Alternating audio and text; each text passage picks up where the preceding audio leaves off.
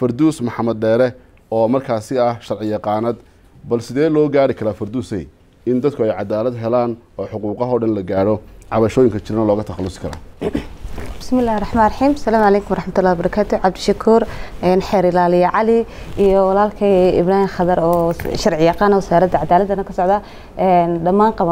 qaabiyaasha barnaamijka damal access to justice oo ah barnaamij cusub oo dhowaan lagu daafuray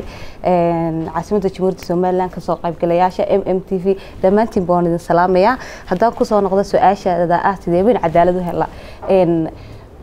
waxaas taa ka horeysa aniga ila tahay ma u baahannahay inaynu horta marka hore isweydiino cadaalad ma haysanaa? Somalilan dadkeedu maanta jamhuuriyadda somalilan cadaalad intee leeg bay haystaan? Maxaa ka dhiman maxay tabiyaan maxay tahay waxyaabaha in loo ilaaliyo? Waxaan aniga ila tahay somalilan qofka maanta maanta dhalinyarada ah ee muwaadinka ah ee wadanka ku nool inaanu xor basic rightska waan qoranaa waynu leenahay dastuurkeena inoo damaanad qaaday waa xeerarka inoo qoran ee qof kasta oo maanta garaad la akhrisan karo laakiin qof kastaba maanta xor ma yahay ani waxay la tahay maya maadaama ka baqanayno askari maadaama ka baqanayno dowlad maadaama institution dowladeed ka baqanayno. Tusaalena waxa uu ah wiilkii yaraaye maanta la soo daayay xeer laanintu eedii ka noqotay maxaa la yidhahdaa sayidka barakaysan oo dhowr iyo labaatan cisho saa la sheegay lix iyo labaatan cisho xidhnaa kuna xidhnaa riwaayad yar oo uu kaga majaajilaysanayay madaxweynaha.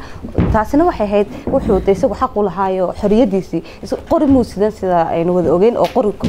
qasab ma dowladda lama dagaalamin fikir buu cabiranayay marka somalilan waxay u baahan tahay inay dib iskugu noqoto aynu idhaahno qofkii maxaa xoriyadda ka qaadaya? Sababta dhalinyarada xoriyadda uga qaadana maxay tahay? Sababta dadkeena u xidhanayna maxay tahay? Sababahaas marka la ogaado ayaa la baadi koobi karaa xalkii